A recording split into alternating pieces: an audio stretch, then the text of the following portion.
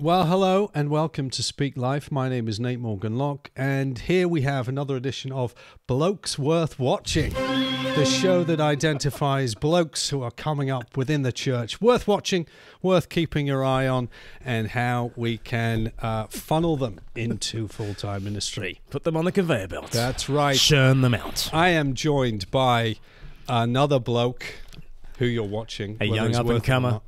Not. Uh, well, according to evangelicals now, Right. or evangelical snow, as I sometimes call it. Uh, do you also say 100 foot hose instead of 10, 10 of those? That was my other one. Yeah, okay. Uh, it says Glen Scrivener, Evangelical Futures.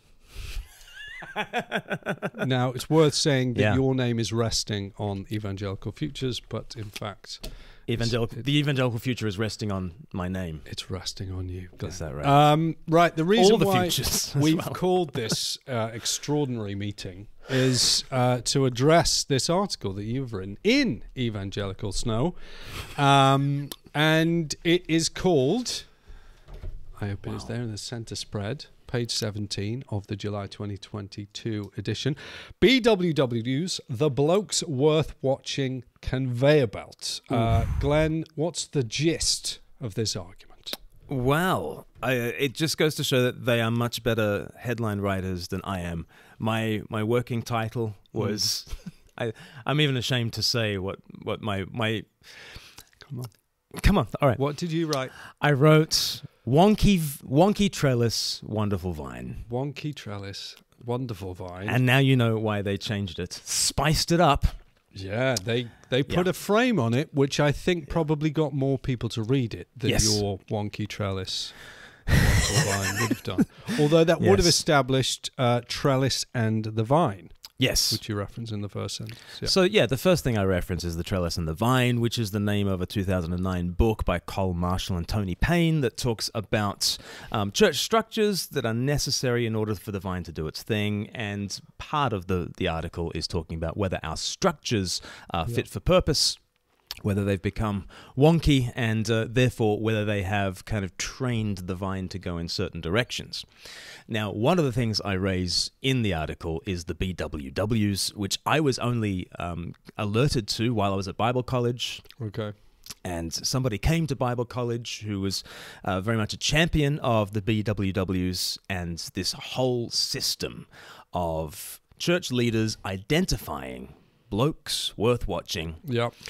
And taking them from whatever future they might have had in Mhm. industry or education or the arts or Yeah. whatever and getting them onto the conveyor belt towards ministry training and Yeah. Bible college and ordination to become the one who watches the blokes to identify the next generation of blokes worth watching. And Yeah. although I'd never seen it diagrammed and it was diagrammed, and although I'd never heard the acronym before, things started to make sense Okay. about why the vine had gone in certain directions because Yeah. of this particular trellis. So the tre- the the system is designed to produce, or- or the the results are the the the come straight out of the system. So Yeah. you look at the um, the way that that ministry philosophy has sort of come about, and you say, well, cool, this is all intentional. Um, but blokes worth watching. I don't think that's the original definition of those terms. BWW. Right. Yeah, the acronym. What, I, what I've actually- learnt through Twitter is that the Right. acronym originally referred to boys worth watching, Yeah. and it was part of the camp's scheme. Yes.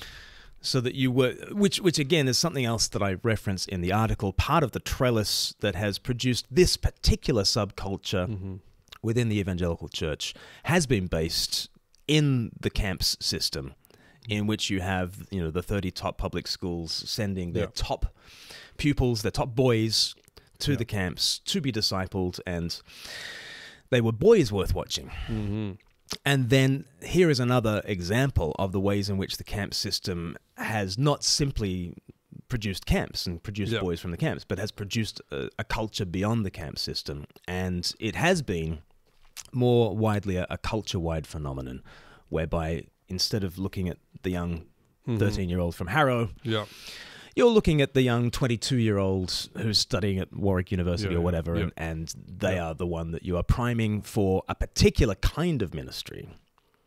Which again, you know, someone like a John Stott, who was right in on the ground floor of some of these camps, and um, and certainly a, a part of that system, nevertheless, would be sort of turning over in his grave if you talked about ministry Mm, when what you really way. Meant yeah, was yeah. full-time pastoral church ministry on the staff of a church. Um, but that's part of the conveyor belt. We want to take Yeah.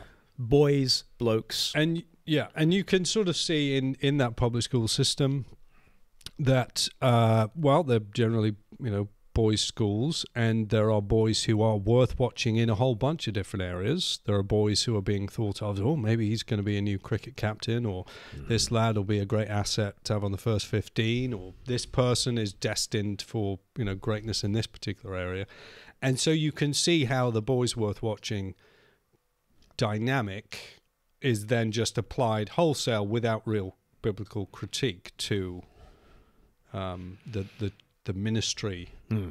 juggernaut, which sort of comes out the back of that. Yeah.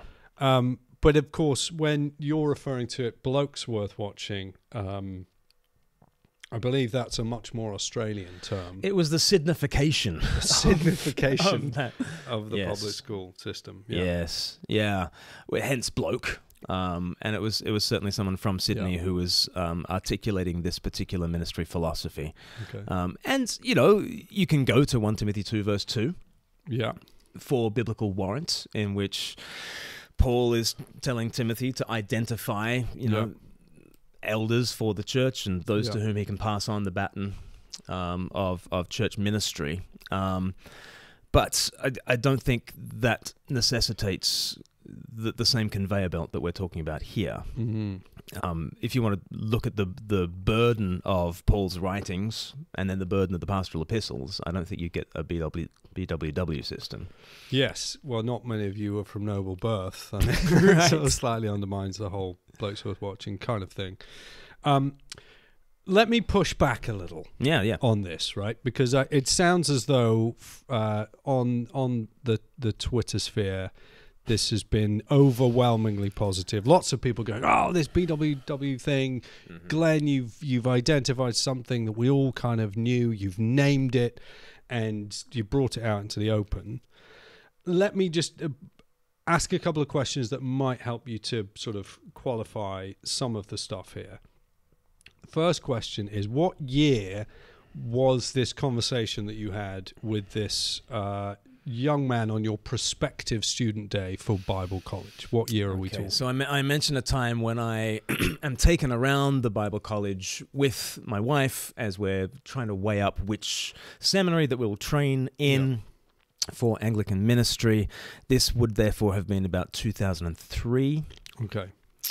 um, and um, and there's lots to be said about that. So in in the conversation, he said, "Are you looking at any other colleges?" And I said, "Yes, there's a college that others of Mhm. my friends are going to. Wouldn't it be fun to do?" Um, theology with them and he said well you don't want to go to that particular college that i named because there at the end of a lecture they say it could be this it could be this or it could be that Yeah. you don't want that you want the answer and i said well what happens if you happen to disagree with the answer that's given at this establishment he said they'd shoot you down Yeah. With was sort of tongue in cheek they'd shoot you down. I said really? He said oh they're, they're very thought through. And i said well Mm. what if you bring bible verses? How would they handle that? And he was instantly like interested like Mhm. what do you want to disagree about? Yeah, and i was like well, i don't know yet. Yeah, Um, yeah. now is that what i found at this institution? I found at this institute, I'm just, it was Oak Hill, it was Oak Hill Theological College uh, in North London. What I found was a very rich theology that was given. I think I was I was pressed there to study biblical, biblical languages Mm-hmm. at a depth that I would never um, have been pushed to in other places. I think I was pushed systematically. Yeah. I think I was pushed to read in church history in ways um, that uh, I perhaps wouldn't have been at other institutions. And so I, I did find that there was a rich um, theology there to be um, enjoyed and pressed into. And actually, at the end of my article here, I say one of our one of the great dearths in our little subculture Mm. is that we always preference the the thumbnail evangelistic outline instead of the theology Yeah. and the richness of the theology. So I I would say that circa 2004 um, the lectures that I heard at this college um, were, were not the same as the caricature that this student gave, Mm-hmm. Though the caricature was recognizable. Yeah. Um, and I and I would say there were certain issues uh, which I would have considered to be secondary matters that were considered to be beyond the pale, and I was told I was outside the camp Right. for certain views Okay. that I thought this is this is Yeah. odd, this is odd. So. Um, so it's a it's a mixed report, really. I I think I did find a theologically rich education there, um, Mhm. but I also found some of these cultural issues that we're talking about. And the this particular lecture in which Blokes Worth Watching is Right. proclaimed with its signification, um, uh, w- in which you're told that that's around the same sort of time, so that's 2005, maybe Yeah, something like that. yeah. Okay. Yeah. So, but we're talking about something that's nearly 20 years ago, Mm. and at the just just mark the difference for me between there is a single conversation with a student Mm. who might just have you know be a particular oddball he's a fanboy for a college that's why he's showing prospective students around because he wouldn't Yeah. want them to go anywhere else Yep. and there is a single lecture Yeah. of this new ministry dynamic blokes worth watching Yeah. it's not individual cases Mm. But it also wasn't your general experience Mm-hmm. How is how would you say that given that particular time nearly 20 years ago it was a culture that was recognizable it was a caricature that was recognizable and now Yeah. nearly 20 years on Yeah. from that Yeah, I think that's fair enough. In in terms of that conversation with one student that was taking me around, um, part of that tour, we were introduced to the dining room in which a motto is on the wall: "Be right and persist." yeah um, which was also uh, seemed to go hand in hand with that kind of mentality. Um, we have got it all sewn up. yeah The on- the only thing to do is to keep going with this, Mhm. and those who are on the outside are, are kind of threatening. So that that conversation um, is just one conversation. Mhm. The motto, though it was not the motto of the Bible College, it was the motto of the found, uh, founding family of the college, and it was something under which we ate our lunch sort of every Yeah. day. And and but it was Um, written in english it wasn't written in latin it, it, it might have it might have sounded you know slightly less prosaic and naff Put if it- it was in Latin. put it in latin There's the Yeah. there's the answer. There's the answer. that's the Just solution Put it in Latin. because only blokes worth watching will Would recognize understand the what it Latin. means It's your answer to everything, isn't it, Nate? gnosticism that's what just put it in Latin. Um, Yeah. So yeah, so that one conversation is one conversation. Um, I think the blokes worth watching thing has been a strategy, and Mhm. it and it has recognizably shaped uh, certain parts of the trellis. okay And I think in the in whatever pushback there's been on this, nobody's pushed back on the fact that that has been a thing, that it has been Yeah. a shaping thing. Um, and certainly in those who have been sympathetic to the article, it's something that's really leapt out at people. And and so there's women who, so Nay Dawson and Sarah Pike, I've sort of retweeted on, on my Twitter if, if you want to find it. Um, they've talked about their own experiences and how the, the Blokes Worth Watching conveyor belt has shaped things for them.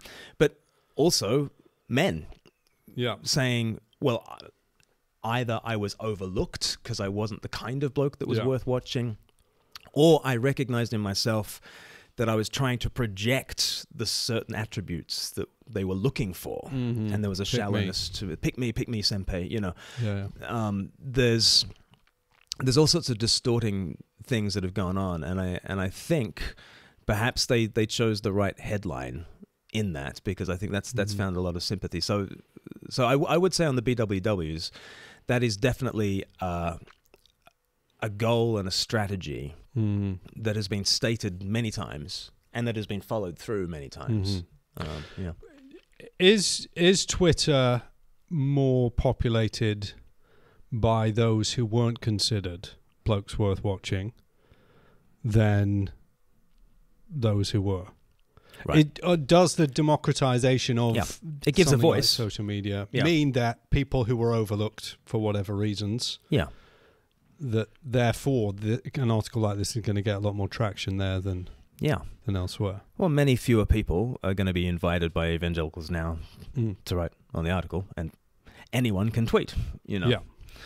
So, um, absolutely, it gives it gives a voice to those who've been overlooked by systems. Mhm. Um, and interestingly, I think the pushback that I've had probably probably just two individuals out Mhm. of scores of people who've gotten in touch very positively. Um, two individuals have sort of pushed back somewhat, but neither of them have done it on Twitter, and I can understand why. You know, as as soon as you get retweeted a few times, then the conversation is flowing in one direction, and it would be Mhm. very difficult for someone yeah, yeah. to swim back in the other direction. Even though I, you know, put out there, I recognize that on Twitter, people are Yeah. sympathetic to this. Is there pushback? Love to hear it, Mm-hmm. um, and would still love to hear it. And I'll, I'll watch the letters to the editor in the next edition, and I'm, I'm quite sure there will be some. Yeah. And is part of the reason that you felt that you needed to write this because you felt you were overlooked as a bloke worth watching? Hmm. Is there any sense in which you you decided Mm. that you didn't want to play the pick me game, Yeah, yeah, yeah. removed yourself from that, and therefore had a, an a, ability to look Yeah. from the outside and critique? Yeah, well, I'm I'm the smart aleck, so I would be the smart aleck at the back of the lectures anyway, kind of sticking Mhm, my hand mhm. up, sticking my oar in, you know.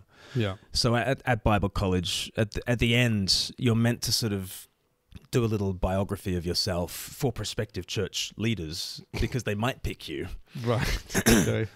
But instead of playing the game about you know what a safe pair of hands I might be if you were to give me a curacy, um, I just I just picked um, one Kings eighteen verse thirteen where Obadiah says to Elijah, Did you not hear what I did when King Ahab was persecuting the prophets of the Lord? I hid them in caves in 50s and kept, kept them fed and watered for Mm. three years. And this is my verse for Bible college. This is what Bible college is. You know, and so I was like, Bible college is basically hiding prophets of the Lord away from persecution, Mhm. just keeping them fed and watered for three years while they debate eschatology or something like that. you Wow. know. And so. I've always been that kind of, you know, voice crying in the wilderness sort okay. of person. I don't want to play your game. It's Yeah. a reverse snobbery. I get that. And yet, uh, Glen, Cen- I'm a centerfold. You're a centerfold, page 17. Yes. And if I, well, it goes on to page 19 as well. Go a little bit further down. You're on page 20, Everyday Evangelism. Go a little bit further again through Evangelical Snow. And what do we find? Oh yeah. How Christianity Shaped Up, Oh, what's a that about? review of Oh, really? The Air We Breathe by Oh. the Reverend Glen Scrivener. Out now from all good bookstores. Yeah. So, um, how long can you play the outsider card if you are probably now one of the maybe not a bloke worth watching, but a bloke who everyone is watching? Yeah. Yeah. My days are numbered.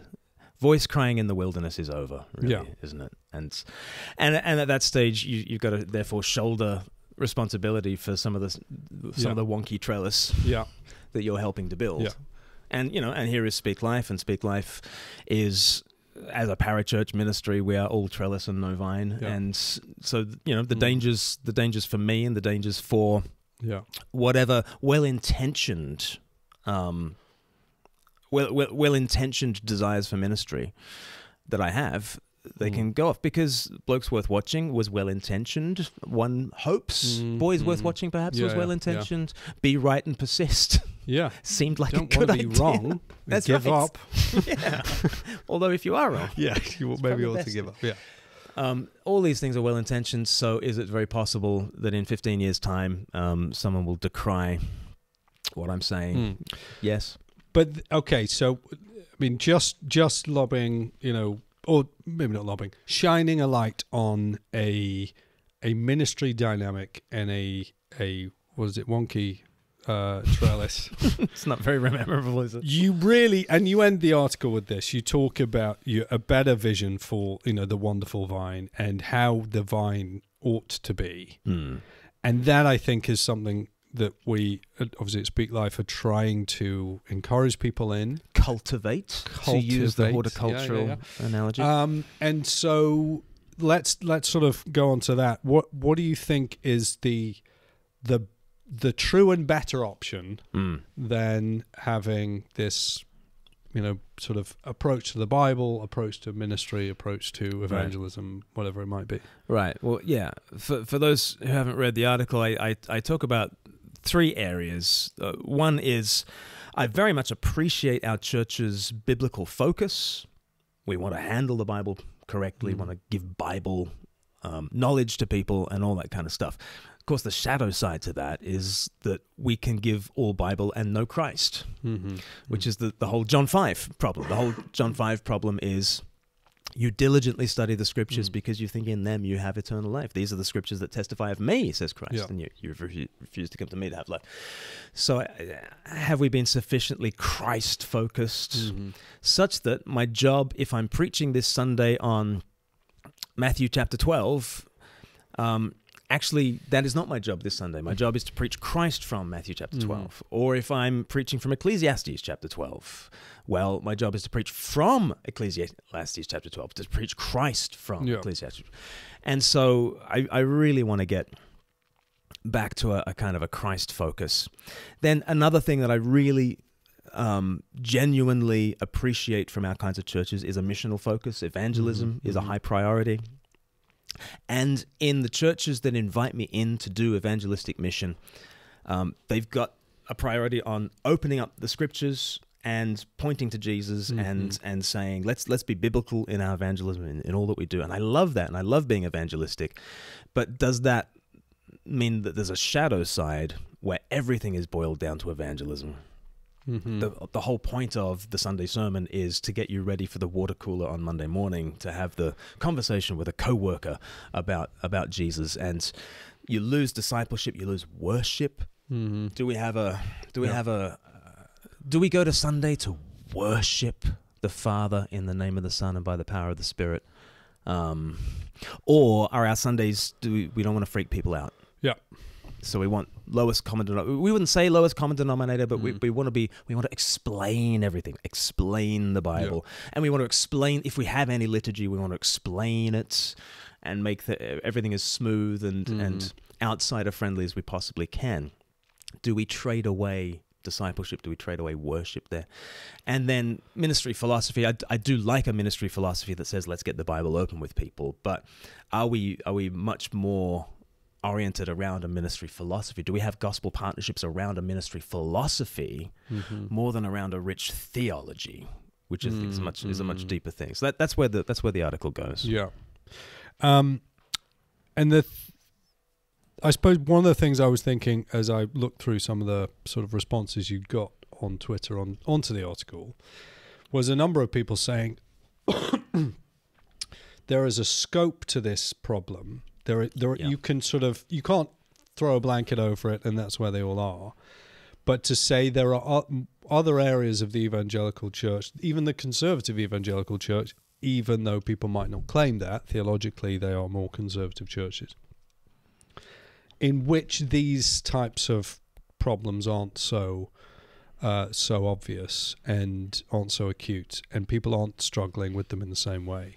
Mm-hmm is there any sense that you feel the encouragement of Elijah being told, you know, there are thousands who have not bowed the knee to Baal, mm, mm. and and you don't need to feel like you're you're the only one. In fact, sort of uh, lift your eyes and see the the there's mm. great encouragement in the vine yeah. around yeah. the church in the UK. Yeah, um, not undermining the significant problems and the abuse issues which still are unresolved in, in some of yeah. conservative evangelical churches. So I, I, I think I pledge to be thrilled wherever this stuff is transcended, mm-hmm. as long as others pledge yeah. to be um, contrite yeah. where this stuff holds. Yeah. Mm-hmm. So um, so I retweeted Dave Williams, who who wrote a thought, a couple of thoughtful um, sort of blog responses uh, to this. One kind of more about the Bible College, and, and another about there there are there's more than you know. The, the, there is more to the vine than what this trellis yep. has kind of allowed there to be, and for that I give great thanks. Um, but I, I do think there's there's also got to be a sense of to the degree that the shoe fits, mm-hmm. will we wear it? Yeah. And I th- and I think it's it's my fault that the spicier stuff at the begin is at the beginning of the article, and you know the the tour with you know an impressionable student um, is does capture the imagination in a way that my three points at the end of the article don't. Mm-hmm. And if people say, okay, that that story is just one story, you know, evangelicalism goes much wider than that. Mm. Okay, Yeah. true, but can we can we apply these these 3 Mhm. you know tests about are we really Christ focused or just Bible people? Um, Yeah. and and I, I see that everywhere, far beyond far beyond Anglican circles Mhm. far beyond Anglican circles. Just the desire to explain the passage. And then, like, the, the comeback on that, oh, no, we don't just explain the passage, we also apply the passage. And you're like, where is Jesus in that? you know? Yeah. Yeah. Yeah. You know? Yeah. Well, are you heralding Jesus from the passage? No, no, we explain Yeah, and yeah. apply, and that's that's that's where we really. So, this problem goes way beyond Anglican circles, um, but even even the camps thing goes way beyond the camps.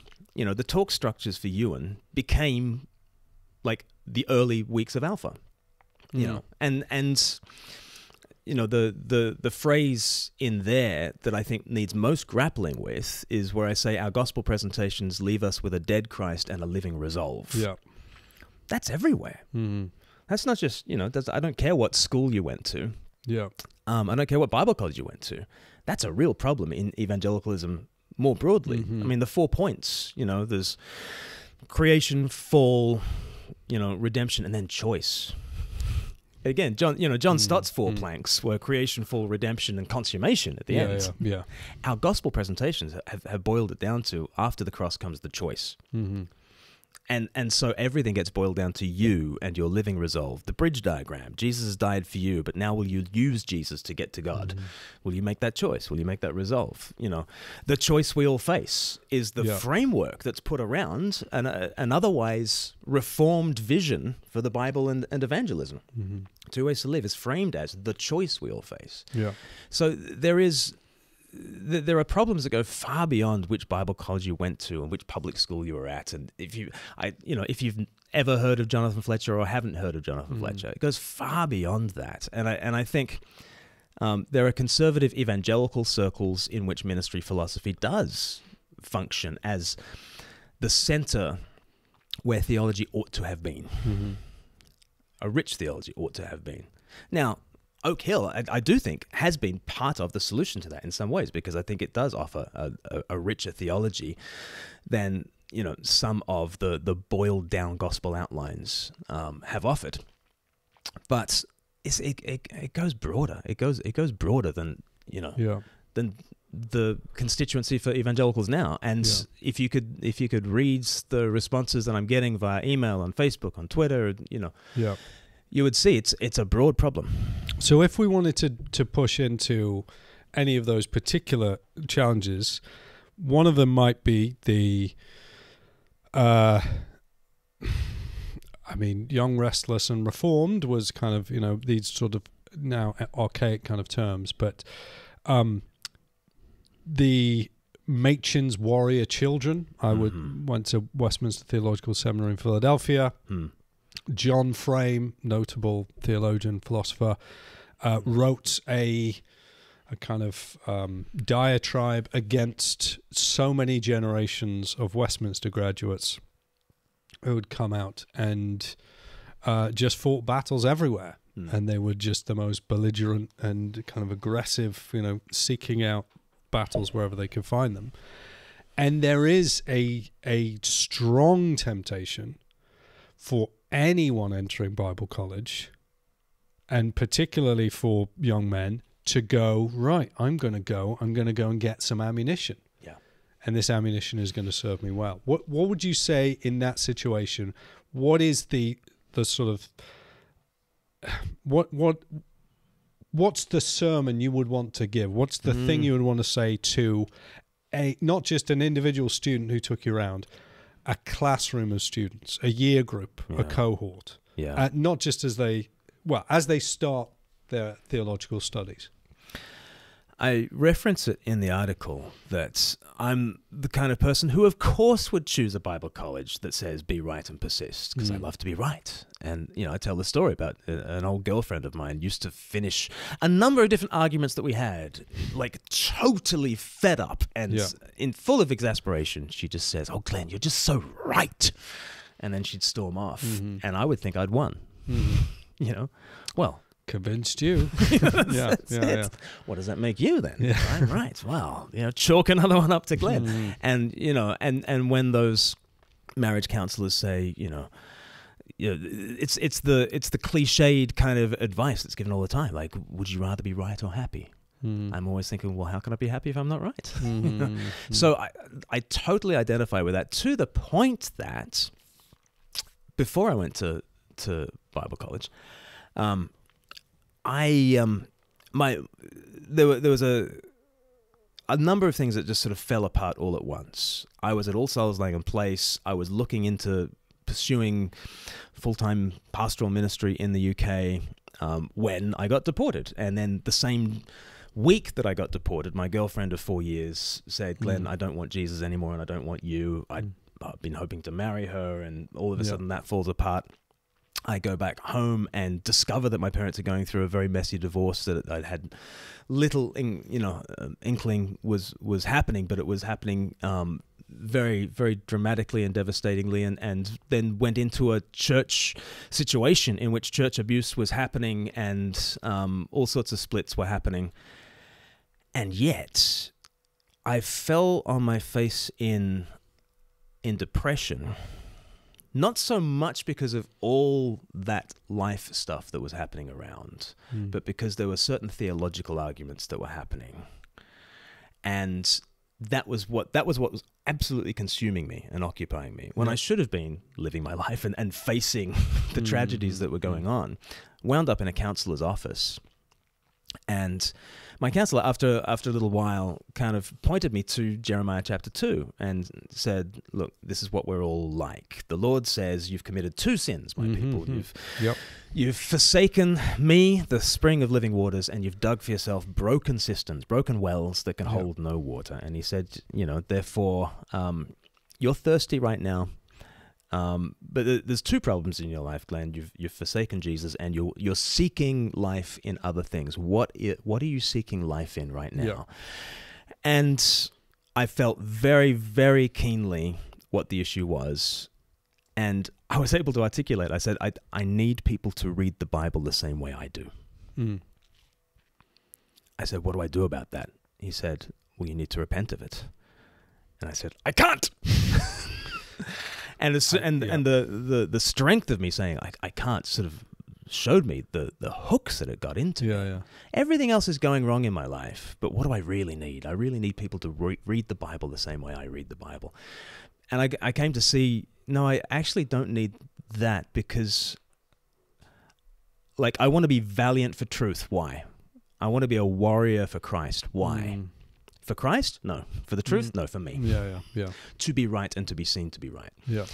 And I just recognized how ugly that was. And I actually I drove home from that session chuckling to myself. I'd been like in a slough of despond. I I end it chuckling, repenting for this whole idea of being right and persisting. As Yeah. though this was my identity. And does that mean I don't still hold those biblical convictions? I still hold those biblical convictions, but hopefully it's less about me now. Mm, And it mm. genuinely is about releasing people into the glory of Jesus in all scriptures Yeah, yeah. and yeah. hopefully that that kind of helps people. So I, I guess just the self righteousness is is death. It's absolute death. And I don't know. Maybe maybe I'd preach to them from Jeremiah two or some or somewhere Mm. else. But I I would just say, you you want to be right theologically. Why? Mm-hmm. And just be very suspicious of your flesh. Yeah. And then I look out at the culture and I just I just see because we want to be right, we build these tribes. We have these this them and us. Mm. We be, we become very narrow, very insular. We put people outside the camp. We have our little shibboleths. We don't play nicely with other Christians Yeah. because they, not only do they not have our same theology, they don't they don't even have our same ministry philosophy. and so Mm. so that self righteous, that that sort of the unearned theological self righteousness Yeah. that we have. Mm. I'd have a go at that. and I think with with men in that situation, they're generally studying with their careers ahead of them. Their Mm. ministry is, you know, f- just one of pure potential. Right. And so, what am I here to do? Well, I'm here to be trained up, and I'm going to be trained well enough that I can, you know, be the best I can be, a Mm. man of God, thoroughly equipped for every good work. And so, I'm basically looking at what what's possible, Hmm. what is possible for me to do, and I suppose, yeah, just asking some of those questions around what is. Would you rather that Christ was proclaimed, Mm. um, or that you got to preach? Mm. you know Right. and and the challenge of you know i remember this, i'm interviewing you so i won't No, you won't talk, you talk, you talk. i was just thinking yeah there was someone wrote an article um oh i think it must have been for the goco the gospel coalition on storytelling and children Okay. I, I'm sure I texted you about this, and I said, that's "Oh, your thing. oh look look what look where she went she went to nathan talking to david about his adultery with bathsheba. And then she talked about john the baptist and herod and herodias. I do that. She talked about cs lewis stealing past watchful dragon. That's my thing. Hmm. And yeah do, would you rather the glorious truth was revealed to refresh and delight and and, and, and enliven the church Right. or is it you who has to kind of do it? And Yeah. that you know to have those things taken from you and to be out of action in a way Yeah. and to be told you know this is Jesus's church and he's Yeah. he's quite capable of running it Yeah. And other Um, people are quite capable as well. yeah and and yeah Praise God for Yeah. that. It's just not a happy thing, yeah is it? And so, like on the blokes worth watching conveyor belt, Mm. um, it it is as you know, senpai, notice me, notice Yeah, me, yeah, you know. yeah. And uh, it's just it's just training your eyes on all the wrong things and Mhm. making you competitors yeah with people who are actually you know companions on the way. Yeah, and we all, you know, I used to say to my Westminster classmates, you know, you, you realize we all get an MDiv at the end of this. Mm. It's not like they're only going to hand out one. Um, I gotta get it. Um, but yeah, that that sense, the very ugly kind of, you know, uh, pride that kind of kicks in as people go into it, and then you make, you know, train train those guys up. Oh, it's awful. It's going to be really ugly. Mm. They have to be Mm. sort of brought brought brought to that point of as you say Jeremiah two thirteen. Um, let's go to the other one you mentioned, which I think is probably more of a evangelistic ministry is thinking about this stuff. Uh, a dead Christ and a living resolve. Mm. And so, gospel presentations, which sort of say, uh, Jesus has done the cross thing. Over to you, Glen yeah. you know like how do we if you get an opportunity to speak on that what do you say everything i don't know it, it, it's because it is it is it is everywhere whether it's the four points of the bridge diagram or um it it it is such a problem because it's it's kind of reverse engineering your gospel from heaven and hell which are realities and Mm. and and must be faced. Um, but so often it, it's like well you, you want to go to the good place and not the bad place. And and that is kind of the the end goal so your end is not christ you know your, your end is the good, the good place however that's defined and you know jesus is, is nice that he gets you there but Mm. he's instrumental and he might be central in this instrumental sense but you're still using him to get what you really want Hmm. which is the the good life, the good future, whatever whatever it is, or or God, but God defined Christlessly.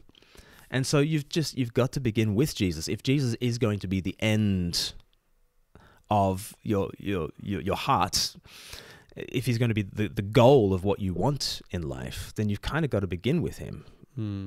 rather than him coming in the middle to fix a problem that gets you this other thing that you want, which is eternal life or forgiveness Yeah, or yeah, yeah. fire insurance or whatever it is. So you gotta you gotta kind of begin with Jesus. You've got to not finish with the cross. You know, you've got Mhm. you've got to have a living Christ Yeah.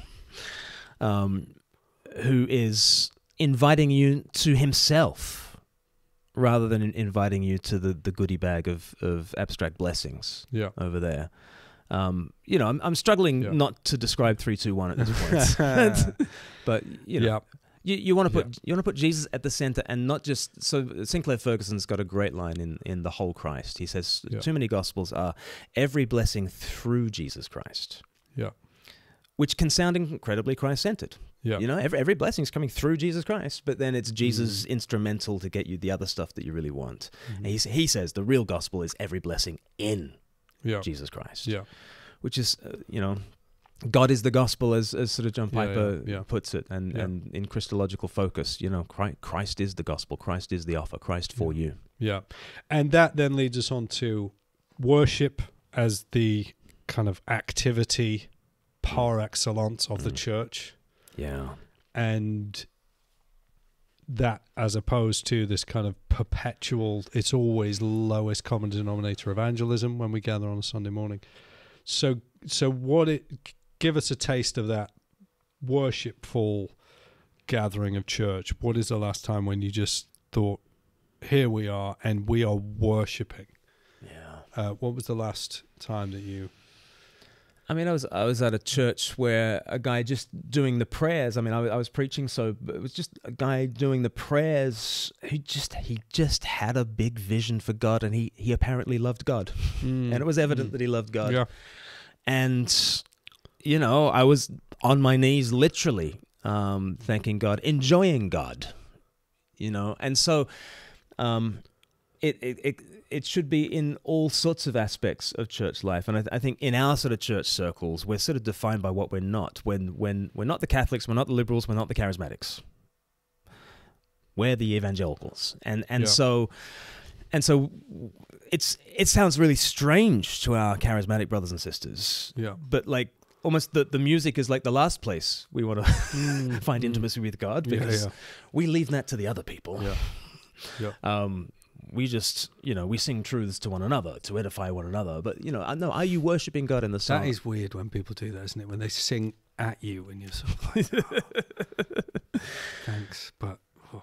yeah, yeah. Because which one is it? Like Colossians and Ephesians. One one of them says Yeah, yeah, sing sing psalms to God, Yeah. and the other says sing Yeah. sing hymns to one another. But um, Yeah.